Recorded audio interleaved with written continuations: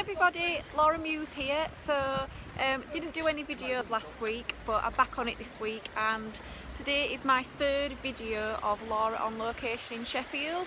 So if you can't quite remember what I'm doing, I'm going to five different locations within Sheffield um, with five big reasons why Sheffield's a great place to invest. Um, and then also be doing um, the strategies that go with that um, in regards to the areas. So today um, I am in um, an amazing place which over the last 10 years has got some massive, massive growth.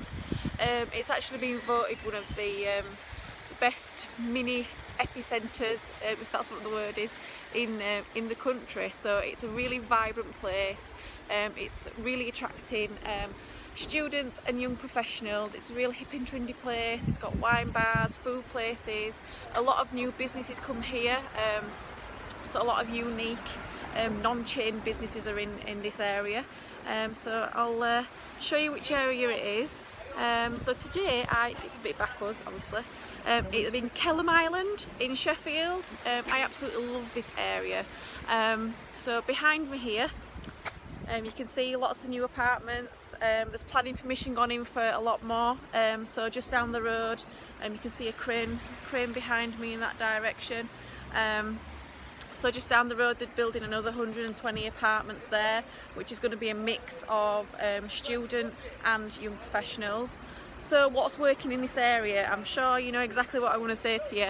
Um, so I've got quite a lot of people who um, I'm friends with very good friends with who heavily invest in serviced accommodation in this in this particular area. It's it's literally a short walk to the city centre of Sheffield. You can get on a tram um, not far from the hospitals, it's got great access to the, um, the motorway links, not far away. Um, it's just a really amazing place um, to, to live. Um, and like I say, there's so many new um, independent businesses.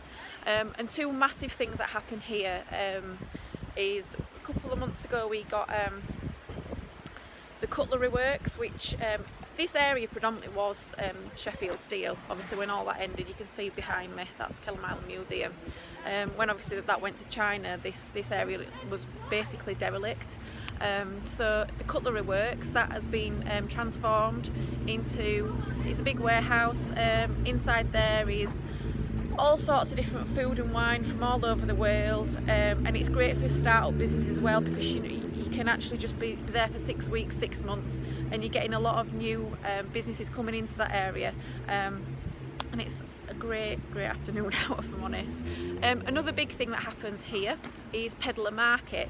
Now, um, Peddler Market is once a month, so it's the first weekend of every month and it's just amazing. There's people that come with um, food, drink from all over the country, really independent, uh, one-man bands, um, but the food is amazing. So you get like a mini that's converted into a barbecue. Um, so yeah, if you love food and wine, Kelham Island in, in Sheffield is definitely the place to be. Plus it's got a massive great opportunity for serviced accommodation.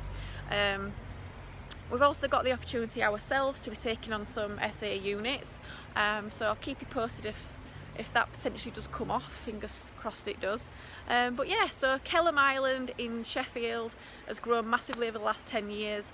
Um, prices are obviously going up, um, but serviced accommodation, it, it's so hot here. Um, so if you can invest in Kellam Island for serviced accommodation, I would 100% recommend you do it. And there's so many companies now that are coming into Sheffield that manage your serviced accommodation units for you, and I can highly recommend a couple as well. But yeah, hope that's helpful. Um, Location is back, and um, I'll see you for the next instalment, which will be tomorrow. Cheers!